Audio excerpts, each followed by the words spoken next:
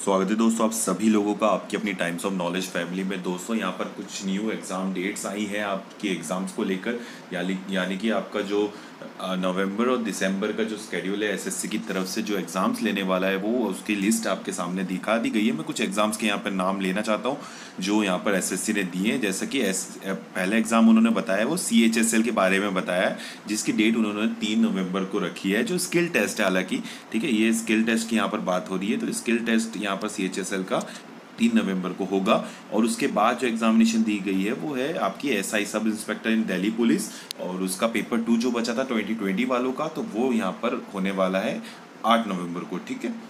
उसके बाद यहाँ पर बात आती है स्टेनोग्राफर की तो stenographer C and D examination जो कि 2020 का जो सी बी ई होना बाकी है, वो यहाँ पर आपका 11 से 15 नवंबर के बीच में रहेगा।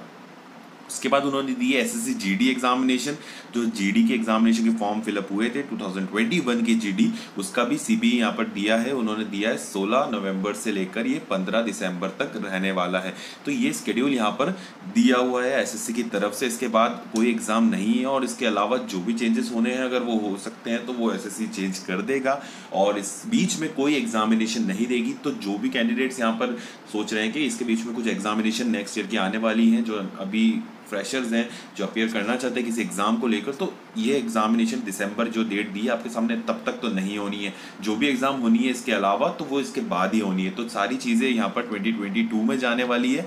तो यहाँ पर देखिएगा आपके सामने यही एग्ज़ामिनेशन है, जो आई थिंक ये लास्ट एग्जामिनेशन है जो इस साल के एंड तक रहेंगी। और बाकी जो डिटेल्स है वो आपको रेगुलर अपडेट्स से मिल जाएगी और कुछ नए नोटिफिकेशन आएँगे, ज़रूर आएँगे। फ़िलहाल थोड़ा सा वेट कीजिए क्योंकि काफ़ी कुछ रिजल्ट्स और एग्जामिनेशन पेंडिंग है एसएससी की तरफ़ से। और नोटिफिकेशन तो वो दे देंगे, आपके फॉर्म फिलिंग रख लेंगे, भले एग्जामिनेशन लेट होगी। तो यहाँ पर वो चीज़ आपको जल्द ही देखने को मिल सकती है।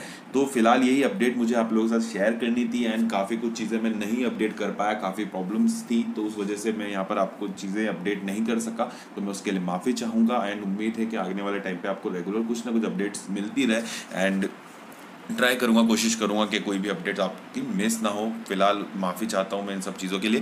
तो यही अपडेट्स थी दोस्तों। मिलते हैं नेक्स्ट वीडियो में। फिर नई अपडेट के साथ इसी जगह पर आपकी अपनी टाइम्स ऑफ़ नॉलेज फैमिली में जब तक चलता हूँ, विदा लेता हूँ सभी लोगों से। जय हिंद, वंदे मातरम।